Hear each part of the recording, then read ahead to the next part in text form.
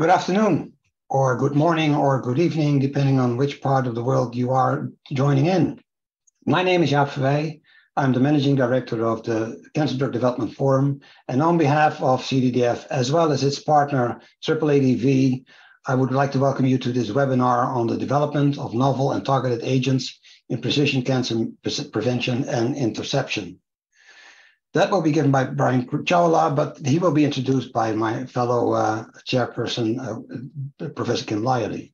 Now, just a few words on the Cancer Drug Development Forum. The Cancer Drug Development Forum is a non-profit organization that is registered in Belgium and provides a neutral platform to stimulate the interaction and particularly the discussion between all stakeholders involved in cancer drug development. So not only pharmaceutical industry, but also academia, regulatory agencies, uh, patient advocacy, obviously, and the health technology assessment regulators that are particularly important for us in Europe. Uh, we try to stimulate discussion, and our ultimate aim is to accelerate the development of good drugs for the treatment of cancer. If we go to the next slide, just a few technical aspects related to this webinar. If you have any technical issues uh, in listening in, then please uh, transmit those via the chat function of the Zoom, which is in the bottom side of your screen. Um, don't use the chat function for questions. Questions can be asked by at any time to the speaker, uh, even while the uh, webinar uh, speaker is ongoing, by using the Q&A function, which is also in the bottom side of your screen.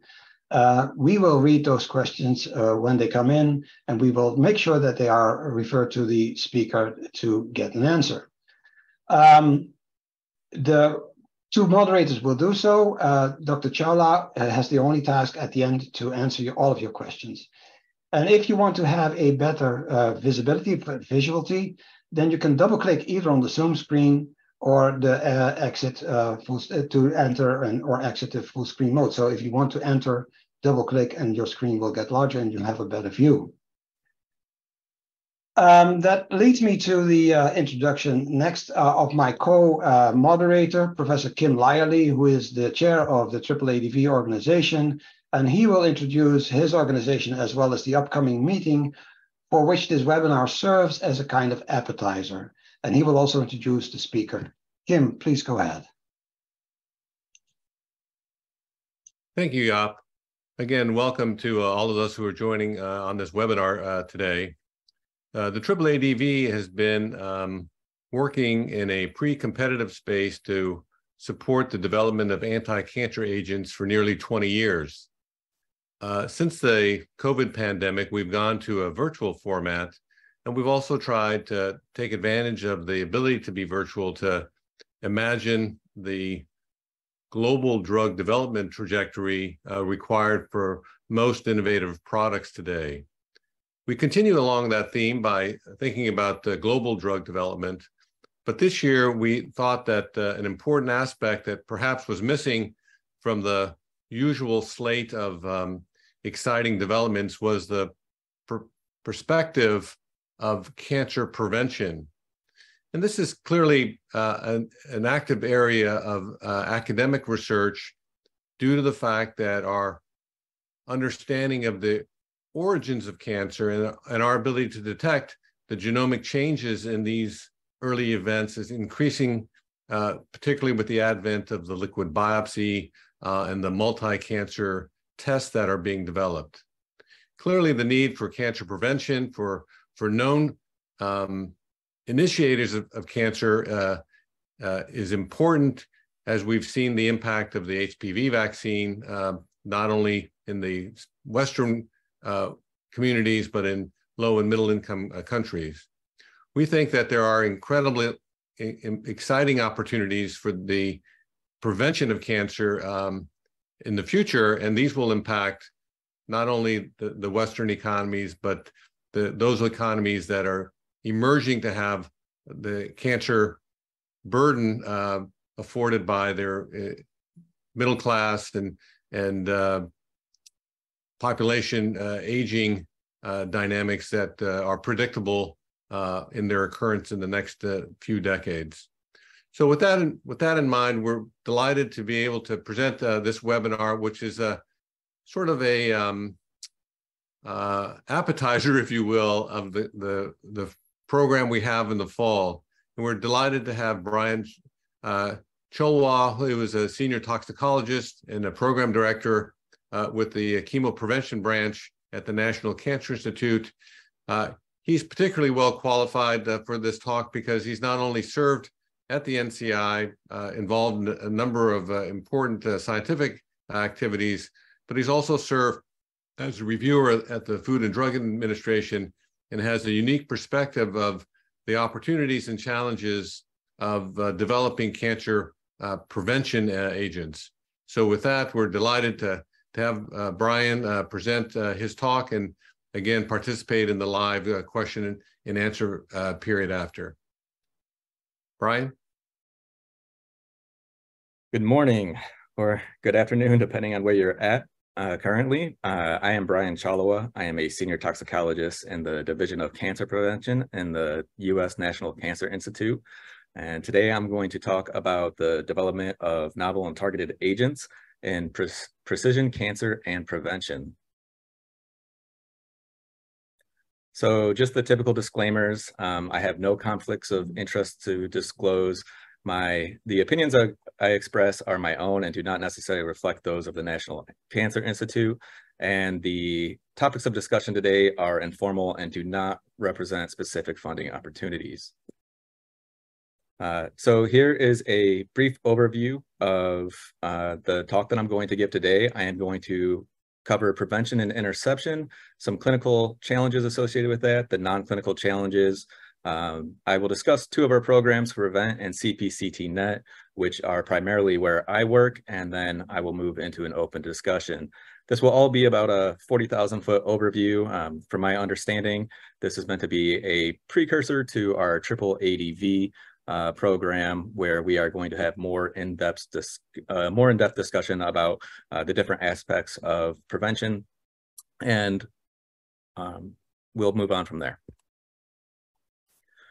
So these next few slides I borrowed from uh, our director, Dr. Phil Castle, uh, and I really like to start with this one because I think it demonstrates uh, how we are currently approaching cancer prevention.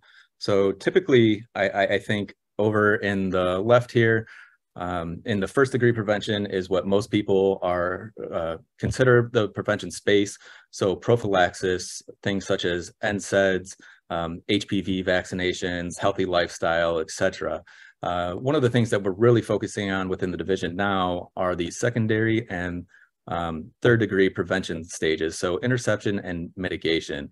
So the interception, once we identify these neoplasias, how do we treat them? And also identifying high risk cohorts with uh, in this interception stage. And then going on into mitigation, uh, here we're looking at early detection of asymptomatic cancers, uh, treatments of low-grade cancers such as low Gleason score prostate cancers, and then we have numerous programs uh, working on anti-cancer vaccines. So with these different areas in mind, uh, this brings us to the who, what, how, and where of precision cancer prevention. So this is a publication by, again, Dr. Castle.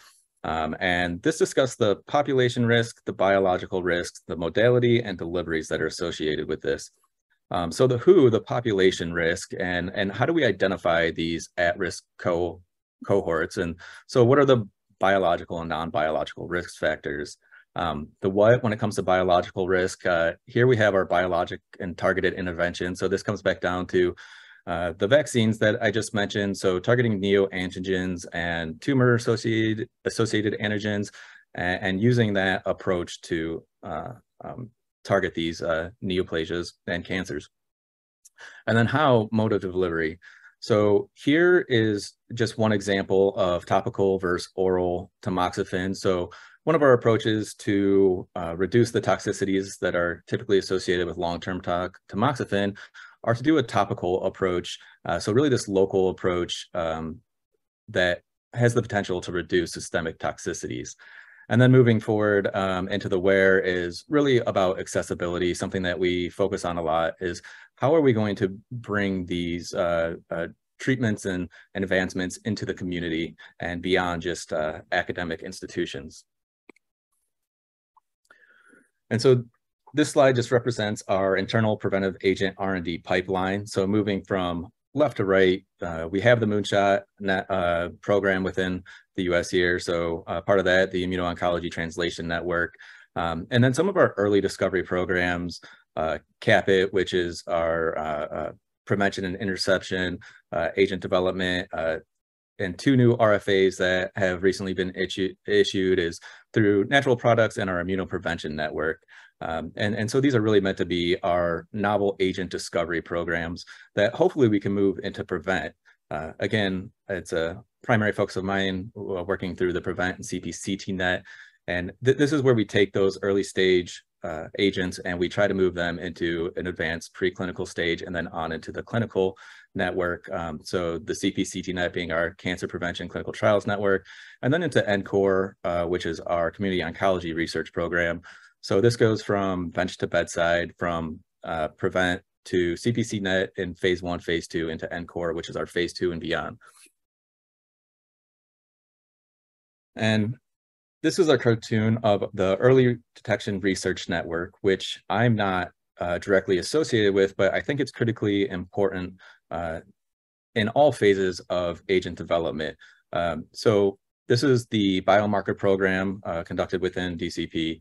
And as you can see here, uh, it goes, well, I see that part of this is missing, um, but the uh, it goes from discovery to assay development to validation, which leads back into discovery. And so th this is a key component into how we can identify these at-risk cohorts uh, through these biomarkers.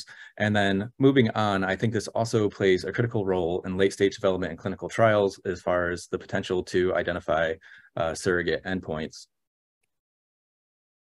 And so just to demonstrate some of the great work that the EDRN has done, these are eight approved uh, tests that have come through the EDRN. I won't go through all of them. They're available on the website. Um, but as you can see, uh, they have assays such as a non-invasive five-minute office-based procedure to identify Barrett's esophagus, um, genetic mutations associated with pancreatic and ovarian cancer, and the list continues from there. And so what are some of our clinical challenges? Um, so associated with the, the biomarkers, I, I, think that really comes back down to the who and how of precision cancer prevention. So identifying these high risk cohorts, there are ones that were are you know well established and we're very well aware of, such as Barrett's esophagus, HPV, Lynch syndrome. Uh, we also have numerous molecular signatures that uh, are associated with these malignant transformations, but there's a lot of work to be done here um, to really advance the field to identify these at-risk populations across the broad spectrum of neoplasias and dysplasias. And then uh, going back to those biomarkers, this really comes down to evaluable interim endpoints. So when we consider molecular surrogates, uh, this becomes crucial in the prevention setting because these clinical trials can take an exorbitantly long time uh, to conduct, which I'll talk a little bit about on the next slide. So having these molecular signatures uh, potentially offer us an interim endpoint uh, that we can evaluate the efficacy of agents prior to the primary endpoint. And then, of course, we have uh, the toxicities associated with these agents and um, so these are going into healthy populations. They may be at-risk populations, but they are in general just healthy individuals uh, with, with no clinical signs. And in addition to just the physiological toxicities, toxicities that may be associated with these agents, there's other considerations such as financial toxicities and psychological toxicities. So uh, on the financial toxicity side, these agents are going to be delivered for a long time. So uh, are we able to provide the agents? Are is insurance going to cover the agents, which may not be a concern for our European audience, um, but it is a big uh, concern for us in the United States. And then um, there's other associated factors such as trips to the hospital, et cetera. And then there's also psychological um, toxicities that we need to be aware of as we're developing these assays and um, uh, agents, such as uh, overdiagnosis, false positives, overtreatment. Um, you know, what's the balance between uh, uh, sensitivity in these assays and, and causing undue uh, medical treatment. And so uh, this is from a publication from Asad Umar within our group uh, from 2012. And really, I just bring this up to highlight one of the biggest challenges that we face in the prevention setting when it comes to clinical trials. And that is the length that these trials can take from follow-up periods. So I won't go through the list, but you can see coming from, you know, neoplasias and hyperplasias to these at-risk populations, um, you know, it can take six to 20 years to uh, turn into a fully formed carcinoma. So one issue is we're trying to prove in negatives, um, mainly that the carcinomas are not going to form. And for two, these clinical trials can have anywhere from a 10 to 20 year follow-up, which makes the development very difficult. And so some of the current approaches that we're taking to this are um, window of opportunity studies. So these typically consist of, you know, pre-surgery, pre-surgery, resection, and biopsy. Um, so once the neoplasia, cyst, polyp, et cetera, is um, discovered, we administer the agent, and then following the surgery, resection, or biopsy, uh, we have pre and post uh, tissue samples where we can compare the molecular changes and really understand the activity of the compound uh, within the targeted tissue. Uh, we also focus a lot on surveillance. So this is one of the parts of the EDRN. Um, but additionally, we have multiple programs uh, within our division that focus on advancing imaging techniques uh, so that we can potentially identify uh, some of these um, neoplasias and and um, asymptomatic cancers early on. And then, of course, risk mitigation. So we do this through uh, multiple ways. Uh, one is the routes of administration, which I briefly touched on earlier through um, tamoxifen.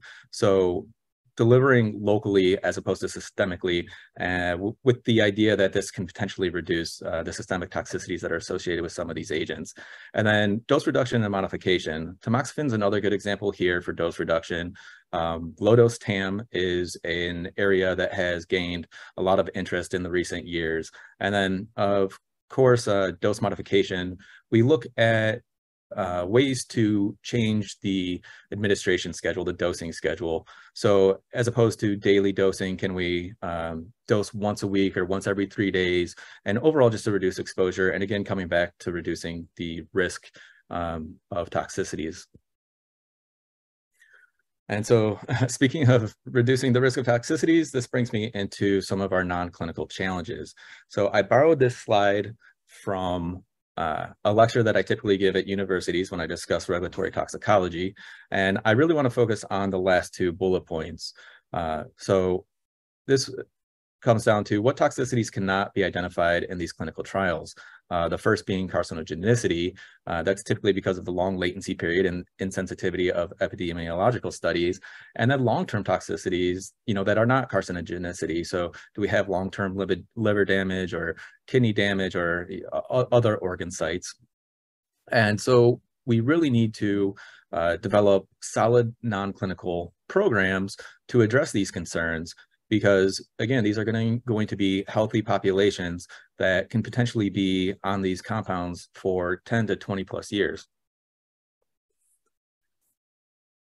And so with these non-clinical challenges, um, one of the issues that we have are we use investigational agents, and these are a lot of these are typically coming from the therapeutic arena. And so in cancer therapeutics, you typically follow an ICH S9 guidance, and then we, when we move into healthy populations, you move into the ICH M3 guidance, and there's numerous differences there. Uh, for one, we have increased, um, there's an inc increased amount of uh, studies that are required. And then for two, you need to establish a NOAEL or a no observable uh, adverse effect limit. And I, I see here I have MTD, but um, what I meant to put in this slide is HNSTD, which is your highest non-severely toxic dose. And these are two different endpoints in your non-clinical studies, and you only need to establish the HNSTD uh, under ICH S9 with therapeutics, whereas we need to establish a NOAEL uh, when we're moving into healthy populations. And so if these non-clinical packages have not established the NOAEL, this requires additional studies at lower doses. And then, of course, you know, this comes with a high cost and high risk because, again, going back to these are going to be long-term clinical trials. So we're talking about millions of dollars in agent development uh, when we can be looking at a 10 to 20 year endpoint. And then another issue uh, when it comes to doing these non-clinical packages are funding opportunities. So grant mechanisms often don't reward general toxicology. So there's nothing sexy about doing GLP toxicology studies. They're very straightforward. Um, eh, eh, you know, and if everything goes right, um, you're not going to be seeing a lot of effects, and, and they just don't typically do well in study sections. So you know, our grant mechanisms of R01s and R21s typically do not uh, cover this sort of agent development. Which moves me on into some of the efforts that we have within DCP. Uh, and again, this comes back to our agent discovery pipeline, uh, very similar to the slide I showed earlier, where we have our early discovery, prevent, CPCTNet, and NCORP. And so under the PREVENT program, we evaluate and confirm preclinical activity we do dosing, scheduling, and formulation optimization. Uh, we do cGMP manufacturing, GLP toxicology, pharmacology, and we offer IND support. Um, so I'll, I'll, go a little bit into that on the, the next slide. And then uh, through the Cancer Prevention Clinical Trials Network, we conduct the phase zero to two clinical trials. And then through um, depending on the on the data coming out of those trials, that'll move on into our community oncology uh, research program. And I also serve as the DCP regulatory lead. And so I feel obligated to discuss some of our regulatory pipeline. And so you can see in each stage of uh, development here, we uh, offer agreement support. These come in the forms of material transfer agreements, uh, clinical trial agreements, clinical supply agreements, uh, multiple other forms. And then uh, under the prevent side, we offer regulatory consulting. Uh, we offer this to um, applicants um, and, and pre-applicants. So if there are questions about um, an agent's developability um, and the ability to move into the prevention space, we're happy to have those discussions. Um, we also do pre-IND submissions. These are typically for our accepted applications. So uh, once we start moving the agent forward, we will meet with the FDA to discuss um, the non-clinical pack packages, the clinical synopsis, etc. And then we also offer IND support. So this comes in the form of uh, putting the individual modules together. So whether it's, um, you know, uh, the summaries, the uh, CMC data, the non-clinical and pharmacology data, uh, will help uh, build those IND packages for support, whether it's through um, um, for submission, whether it's through our clinical trials network, or we'll just hand that back to you and you can move on with your own clinical trial. Um, we do like to see things move through the pipeline. And if you come into the network, uh, we also offer clinical protocol reviews. We also offer IND support and submission. And then we, we uh, continue with trial support. And this comes in the form of things such as uh, adverse event reporting, um, annual reporting, and then the eventual uh, IND inactiv inactivation. And of course, anything that moves on, um, whether it's through NCORP or another late stage clinical trial, we are happy to provide letter, letters of authorization to our INDs conducted within our program. And so just a little bit about the NCI Prevent program. These are some of our focus areas. Uh, again, with the you know advancements in the immunoprevention space, we're really trying to incorporate more of this into our program. Over the recent years, it's become at least 50% of our portfolio. Uh, but we, we also still work with a lot of chemoprevention agents. So, you know, these include novel agents with novel mechanisms, uh, the standard anti-inflammatory approaches, uh, et cetera. And then we also do some work with the clinic, translatable biomarkers of tumor progression and and or preventative efficacy. Uh, however, our biomarker portfolio has been shrinking in recent years as we try to move on to later stage development. And so this is just a cartoon um, graphical representation of those uh, focus areas. So we have the three main phases of our program, which are proof of concept, secondary testing, and advanced preclinical development. Uh, here you can see our chemoprevention, immunoprevention, and uh, biomarker uh, applications. And then on the left, we have our typical pipeline. So we receive the applications. These go through an external peer review panel. Um, following that, the applications are scored. We receive the highest applications into our MAC review or our internal review board. And this is mainly just to make sure we don't have overlapping projects and it's feasible for us to conduct the studies. And then we award the contracts and move forward with the project. And also, I should say, uh, when it comes into these three individual phases, um, you can come in at any point and you can also move through these phases. So if it's a proof of concept, it can move into secondary testing and it, following that, it can move into advanced preclinical development. But by all means, we like to move, we like to accept applications that are just in the advanced stages of preclinical development. And so if you're interested in this program, this is just who and how um, you can apply. And so everybody is eligible to apply. This includes, you know, researchers in academia, government, and industry, nationally or internationally. Um, we have two submission deadlines a year. Uh, they're on the second Mondays of January and July. The applications are all done by email through the PDF format. Our email address is listed there. And then any of the um, details about the submission can be found at our website, which is at the bottom of the slide. And so this slide may be a little bit difficult to read, but I did want to give an overview of our Cancer Prevention Clinical Trials Network. So particularly, um, you can see some of the infrastructure support we have here. So we have a central IRB document management regulatory support, um, an agent repository, as well as a biospecimen repository. Uh, we also have our DMAC, which is our Data Management and Auditing and Coordinating Center. Um, so this is done through the University of Wisconsin. Um, so they handle all of our, our, our data and auditing, et cetera. And then our CPC uh, net sites, so our network sites are consistent of our lead academic organizations and then our affiliated organizations. And so I will mention um, what those are in this next slide. So if you're interested in working within our clinical trials network and you're not currently affiliated, um, any investigators interested in conducting a clinical trial uh, with an agent ready for clinical testing can join a lead academic organization to become an affiliated organization. So this is done uh, both nationally and internationally. We currently have uh, clinical trials going on in Austria, Italy, Canada, so numerous international partners. Uh, we also help prepare IMPDs uh, for the for example for the Austrian site. So that is something else that we have familiarity with. And so our lead organizations are Northwestern University of Arizona, MD Anderson, and the Universities of Mich Michigan and Wisconsin. Um, so by establishing uh, contact with them, you're able to become an affiliated organization and enter into our network. And then if you're not interested in doing the clinical trial yourself, um, any investigators who wish to provide an agent for clinical study can reach out to us and we can see if the agent is appropriate uh, for the, um, the, the, the, network and to move forward into um, one of our studies.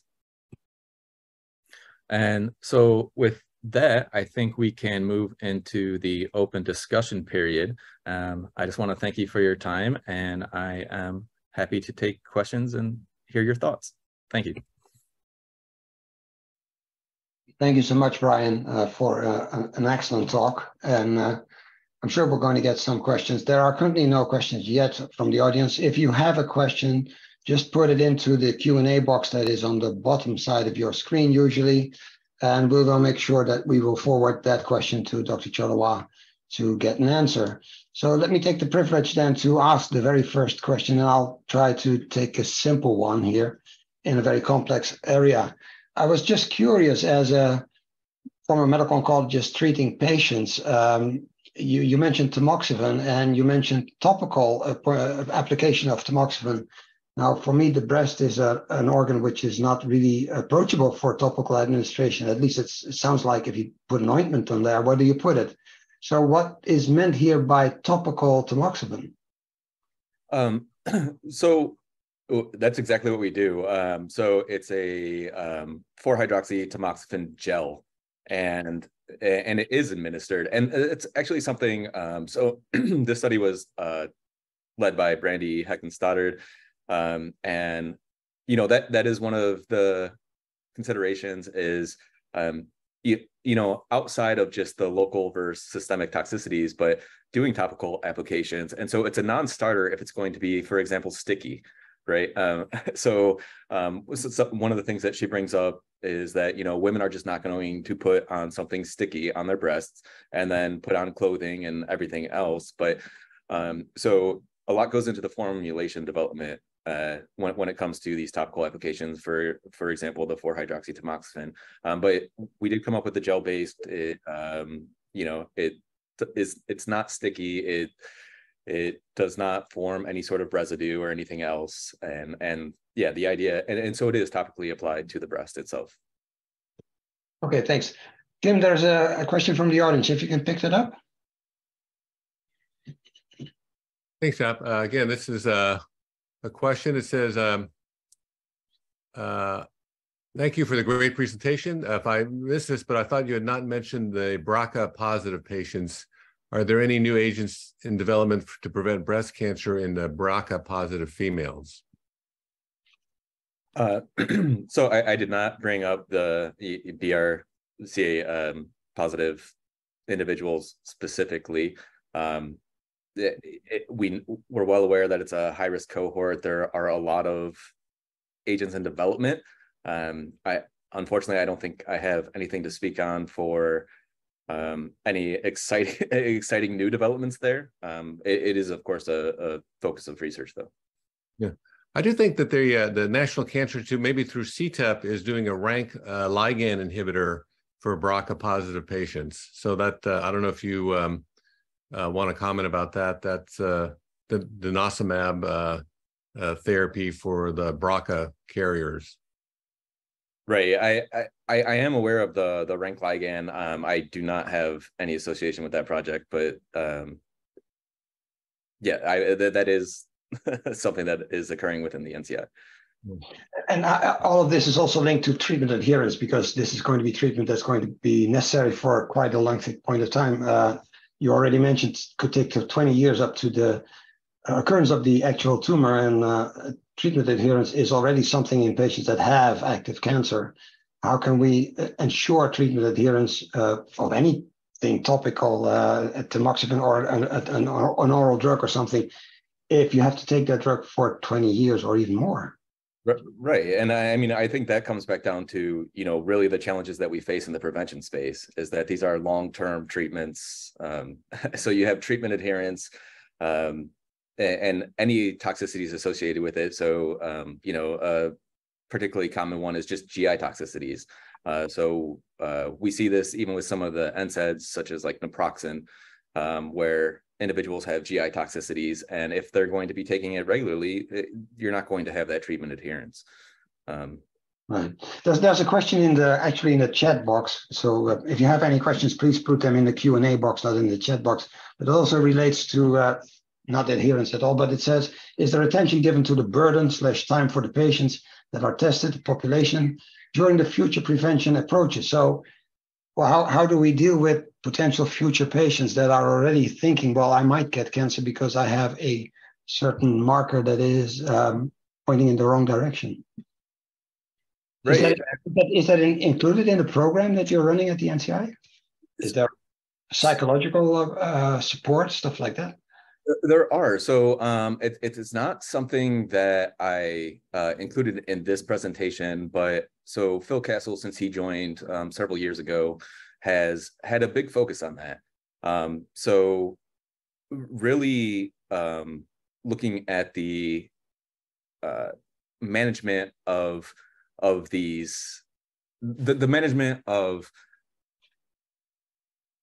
I don't know how to put this. Um, so yes, we, we we are looking at that. Um, it, it's it, it's looking at the the management of the psychological toxicities that are associated with being identified as a high risk cohort. Um, and so how, how do we mitigate that? There's a lot of effort going into that. It's it's a new program within our division. It's something that we're considering though, um, and and there's been there's been a lot of focus uh, going into that area. Uh, I guess they're making use also of the experience that has been obtained in families with BRCA positivity. Um, right yeah and, and so um, it's it's management of symptoms um, things of that area is something that uh, phil has and, and, not just you know um, physiological manifestations of of these symptoms but the psychological aspects as well and so uh, it, it is a new program within the division I, I do believe are going to have rfas coming out um, you know going into that that area where it's more of a focus on the psychological aspects. And so um, there will be i believe funding opportunities there and, and trying to advance that um, field forward.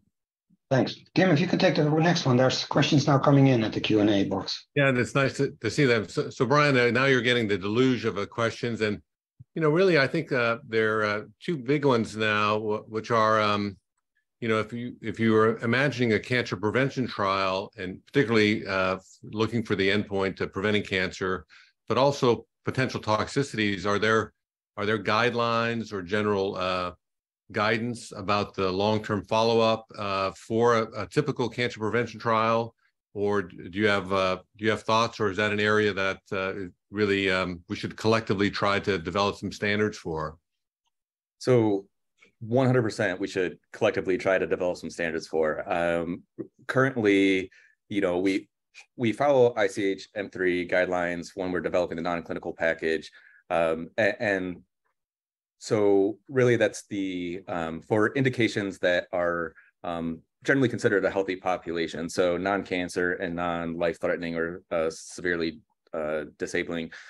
Um, one of the things that is happening within our division is we're trying to work with the FDA, so you know our U.S. regulatory agencies, and um, one, one of the individuals there, Danielle Kroll, who is a uh, breast oncologist uh, reviewer within the FDA, she's really trying to carve out you know some of um, a, a, space for prevention itself, so that we're not going into um, you know the individual reviewing divisions, and and we really have a centralized um, area of regulatory uh, of the regulatory agency where we can discuss these uh, important questions of you know what are the guidelines for these cancer prevention uh, studies and, and, how to progress these forward. And par- particularly one, one of the main reasons for that is because it's very hard to get industry support. Again most companies are not looking to go into a 10 or 20 year development program. Um, so can we can we include these interim endpoints as maybe an emergency use authorization or you know some preliminary authorization um, that would really give companies incentives to to work into this prevention space. Well, that, that really is an exciting job. I'm going to follow on because the, the next question was kind of a follow on to that, which is, um, are there, you know, with that in mind, are there any candidate endpoints that look like they uh, would be attractive uh, in a in a prevention uh, product development that uh, would be a likely endpoint that would achieve some type of um, regulatory recognition that in, in your mind's eye, or is there something or a set of candidate uh, endpoints that you think are likely to, to meet that criteria? So um, I, I, will say in my mind's eye, uh, yes. Um, uh, for the regulatory agencies, I, I don't think we're there yet. I don't think they're, uh, you know, well enough established to meet the sort of risk assessment criteria that's going to go through a, a reviewer. Um, but through the EDRN, we, you know, we're developing these gene signatures, uh, molecular changes, and th- that that's really the goal is to, um, you know, some of them with uh, uh KRAS, um, uh, EGFR. We, we, you know, there's new all of the cancer pathways that we're all very familiar with.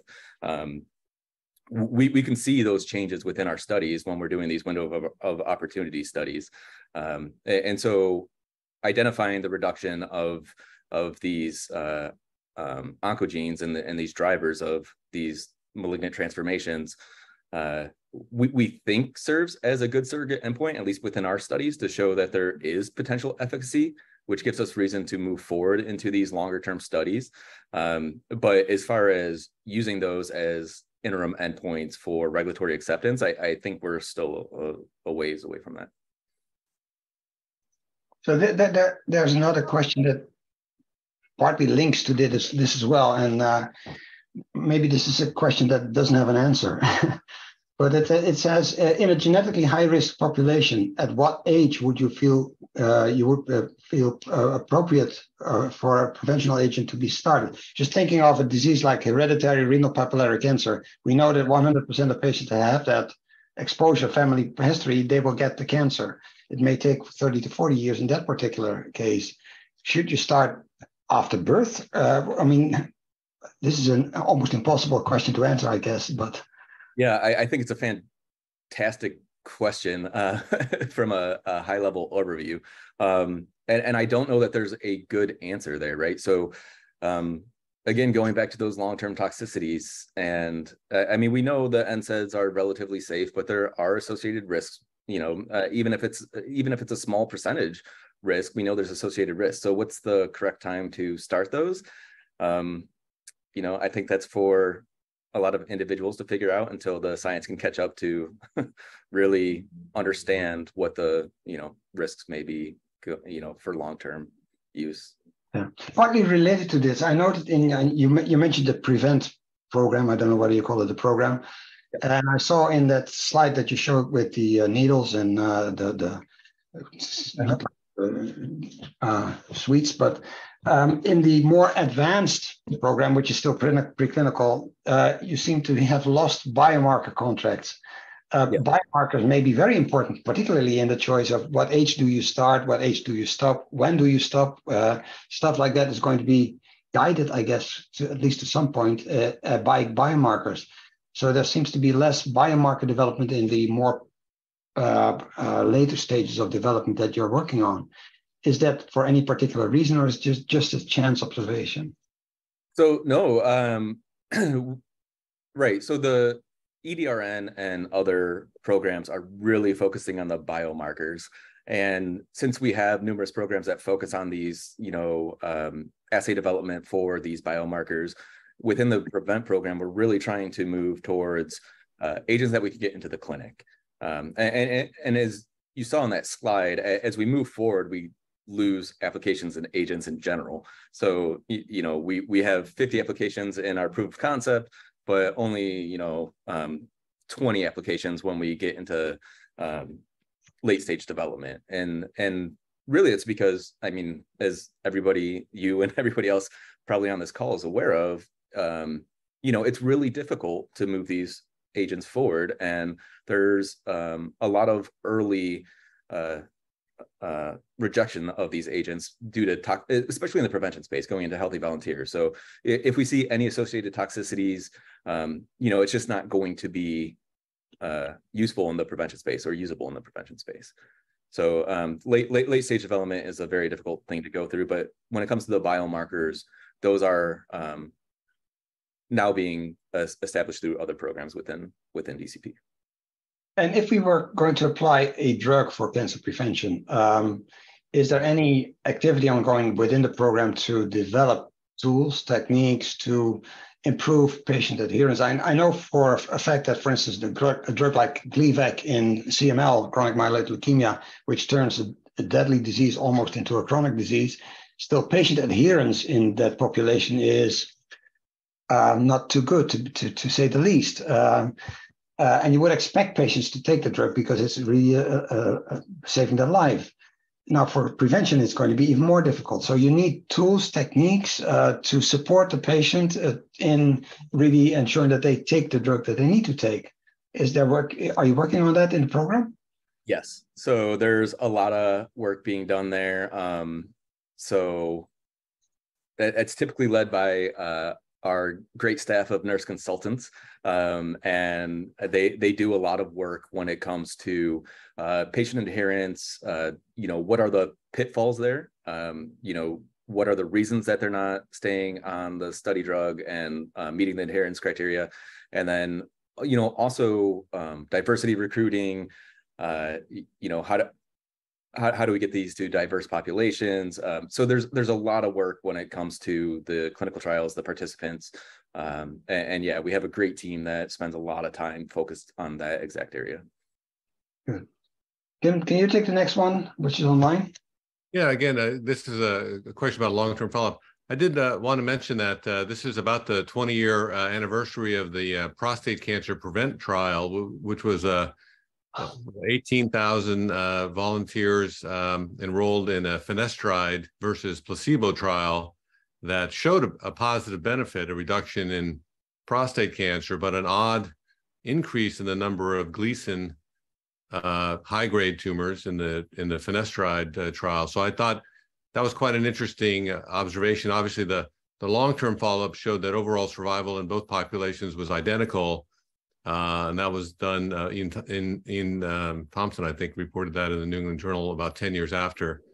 But it, gets to this next question, which is um, how do we look at uh, the potential toxicities of the of the prevention agent versus other um, you know diseases of aging uh, and uh, whether or not uh, we'll be able to di- differentiate that in in these um, prevention trials and will it just be a clinical trial design uh, adverse event reporting as usual or are there some um, strategies to uh, address those those adverse events in in the prevention studies that are likely to to be needed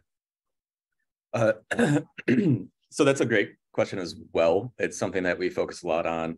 Um, that for for one, right? It's difficult uh, comorbidities, things of that nature, especially in elderly populations where a lot of this prevention work is being done. Um, but one of the ways that we're addressing that within the division is we have a safety assessment committee, which I'm on. Um, so it includes uh, multiple, headed by Gary Delazana, um, and then um, uh, Linda Duty, who is part of our regulatory consulting group um, through uh, CCS Associates. And so they head up the safety assessment committee. And what we do there is we review all of our trials. Uh, we review all of the adverse events and we, um, we, we follow those moving forward. So if there's any sort of signals, hopefully we catch them. Uh, and, and, those go across all of our trials. So every adverse event uh, is presented. Um, we, we, typically go over each agent uh, once a year, and uh, we look at all adverse events that have been reported through the clinical trial. And so, if there's any signals there that are consistent across multiple patients or across multiple trials, we we we try to pick those up, and then you know we report those as as required. You mentioned, Brian, that um, because of the difficulty of the length of time that a, a full study would take uh, to get an answer, you're using window of opportunity studies as well. Usually these have different endpoints as compared to the final study. And how do you, is there any thought uh, already on how to move from the endpoint from the window of opportunity study to the endpoint of the definitive study? It, Right. So we use the window of opportunity studies to to really promote the I to assess whether or not the agent can move forward into you know these full blown studies, which tend to be much more costly, have a much longer follow up. So um, you know it. Of course, sometimes you do see reductions in you know the growth or um, advancement of these cancers. Um, but otherwise, we look for these molecular signatures. So, are we inhibiting inhibiting the intended pathway within these uh, tissue samples of whatever the target organ is? If we are, then that's a strong candidate to move forward. Uh, it, and you know, again, when it comes to clinical trials, it's it's never straightforward. So a lot of times we don't see what we, you know, the hypothesis uh, uh, was for when it comes to the to the primary end of, endpoint of these shorter studies, these window window of opportunity studies, um, and and so then that's where the agent generally stops uh, when it when it comes to the longer term clinical trials. But um, yeah, so it really just allows us to have the assessment for give us a reason to move forward into the long term follow up studies. Um, you mentioned financial constraints, toxicities as well, uh, and of course that's that's an important element as well.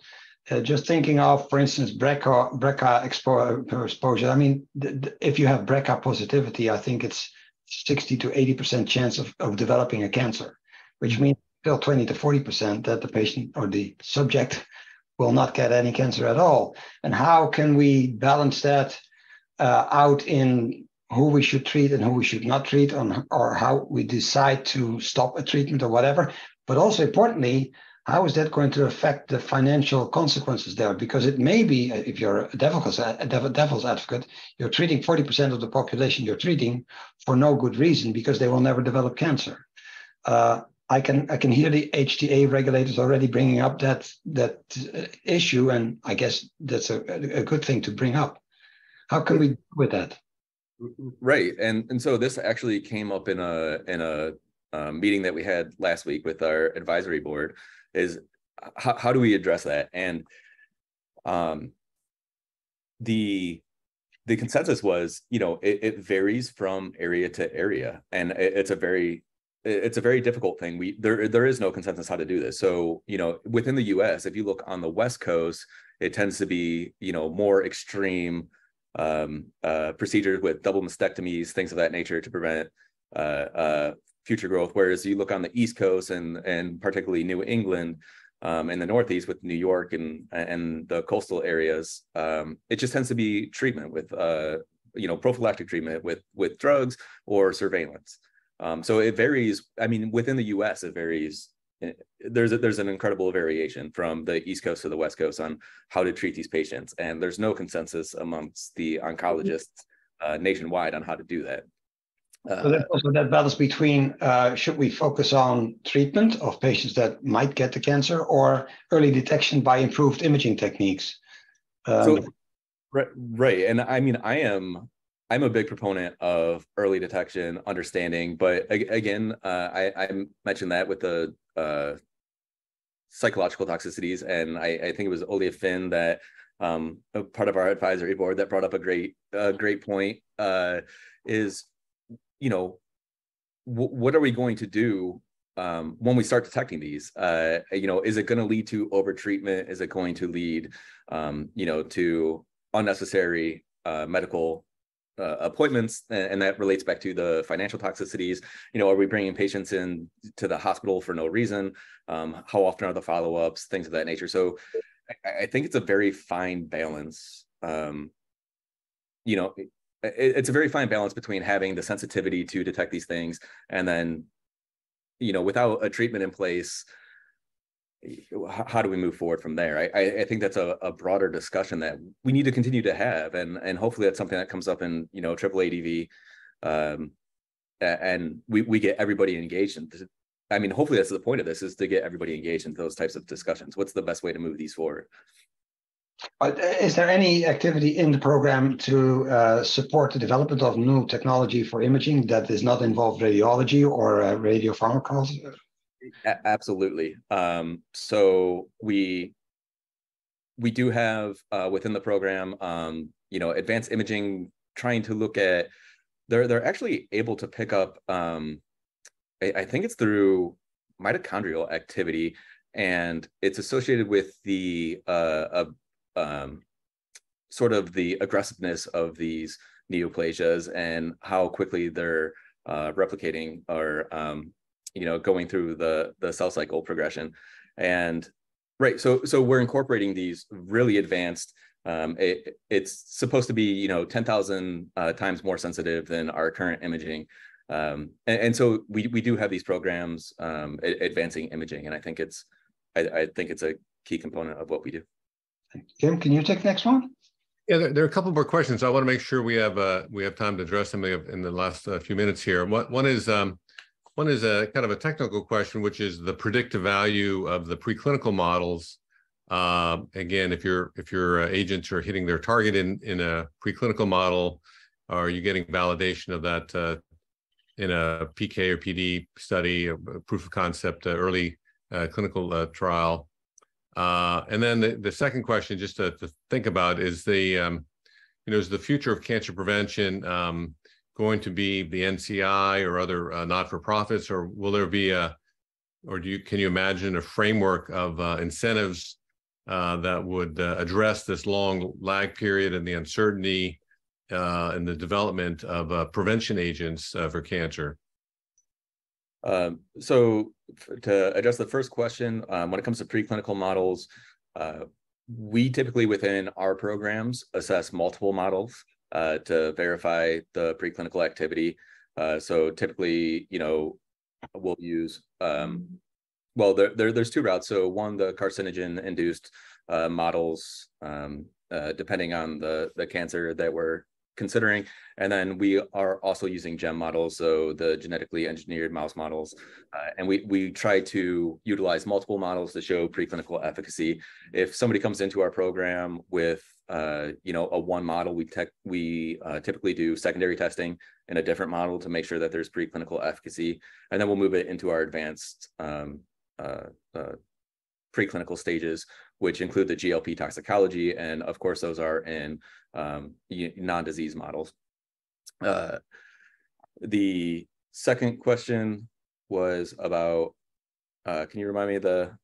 Yeah, do, do we, can we imagine a, uh, a framework of incentives or other um, strategies to provide, um, you know, enthusiasm from the, from the pharma industry to address and tackle such a challenging problem, which would obviously be an enormous benefit to, to society, but the pathway to that uh, may not uh, be as uh, straightforward as the current therapeutic development pathway.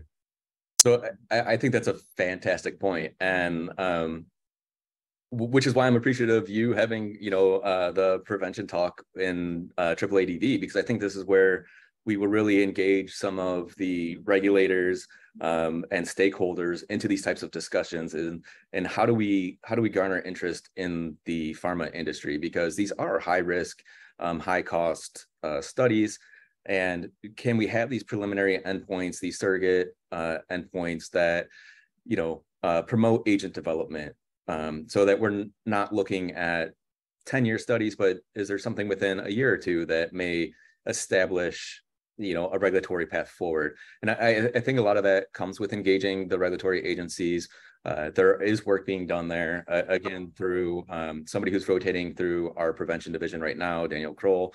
Um, she's you know really working on setting up this space but I, I think as the prevention space grows and and we have um, you know a, a, centric division or uh, a centric um, group of people that we're able to discuss we can really move things forward in that in that area. But uh, of course, it, it's much more difficult than the therapeutic space. Well, one one of the things we want to at least recognize is that the cancer moonshot from the Biden White House is to is something that may also incorporate um, prevention and whether or not there'll be financial incentives, guaranteed purchases, real policy change that could impact the development of prevention agents. Certainly, that might be on the horizon, and the hope would be the collective uh, voices of the scientists and and drug development community advocates, et cetera, would uh, contribute to finding a path forward.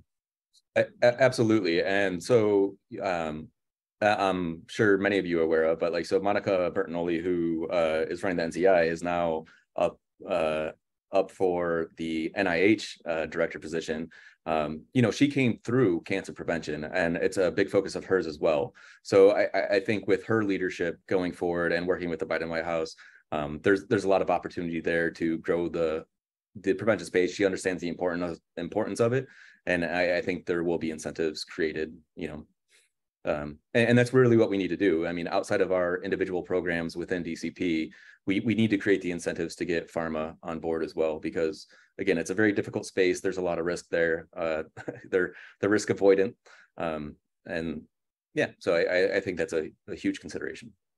Great point in time to come to a closure of this webinar. Uh, thank you so much, Brian, for an excellent talk and giving all those answers to those difficult questions. Uh, I hope this is still indeed serving as an appetizer for the uh, upcoming AAADV ASCO CDDF workshop in September. You see the dates over here, September 13 to 15, an online meeting. You can find more information on the AAADV website that's indicated over there. And just a few words on a few uh, other meetings that we have upcoming at CDDF. There will be a live webinar on July 10 uh, given by Dr. Alberto Costa on behalf of the European Parliament and Mark Lawler, who is member of the board of the CDDF, on the Beating Cancer in Europe program that the EU has launched uh, some time ago. We will have a multi-stakeholder workshop in Amsterdam uh, in September 18 and 19 on innovative oncology trial designs. And finally, we will have a workshop in November, if I can get the next slide, Michael, uh, on the critical role of biomarkers in delivering drug development related precision. That's going to be in November on November 13 and 14. If you wish to register or get more information, you can use the QR code that is on the right side of the screen. And we would really appreciate your feedback on this on this webinar. We always try to improve what we do. Uh, if you take the QR code on the right side and simply fill out a very simple survey form that teaches us where we can improve, and we will certainly take notice of everything you put in there.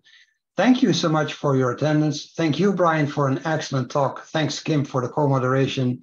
And I wish you a wonderful evening, morning, or um, afternoon, wherever you are in the world. Thanks on behalf of CDDF.